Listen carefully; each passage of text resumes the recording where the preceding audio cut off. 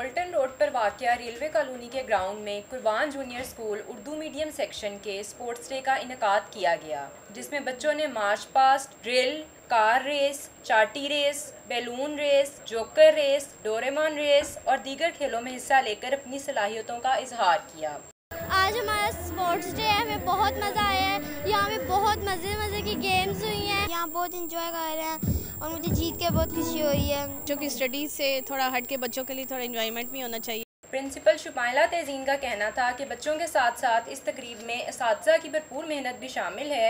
ये हमारा बारवा सालाना फ़ंक्शन है जिसमें हमारे मुख्तलिफ़ तरह के प्रोग्राम जिसमें रेसेस परेड पीटी एरोबिक्स का इनका मेहमान खसूसी हामिद खान का कहना था कि खेल जिसमानी और जहनी नशोनुमा में अहम किरदार अदा करते हैं, जबकि chairman all teachers federation Mohammad Azam Bhatt ने सिटी 42 से गुफ्तु करते हुए बताया कि कुर्बान स्कूल में तलबा की तादाद पाँच हज़ार होने के बावजूद इनको खेलों के लिए ग्राउंड मैसर नहीं। जो मुल्क तरक्की याफ्ता होते हैं, वहाँ के बच्चे जो हैं वो जिसमानी तौर पर और जहनी तौर पर स्पोर्ट्स की वजह से वो तरक्की पाते हैं। मेरी हुकूमत से ये दरख्वास्त है इनकी हौसला अफजाई के लिए बच्चों की हौसला अफजाई के लिए वालदेन की हौसला इस इलाके की हौसला अफजाई के लिए यहाँ को पार्क मुहैया किया जाए। तालीमी सरगर्मियों के साथ गैर निसाबी सरगर्मियों के मौके मैसर आने से न सिर्फ़ तलबा के अतमाद में इजाफा होता है बल्कि उनको अपनी छुपी हुई सलाहियतें उजागर करने का मौका भी मिलता है। कैमरामैन कामरान खान के साथ Sadia Rana city forty two.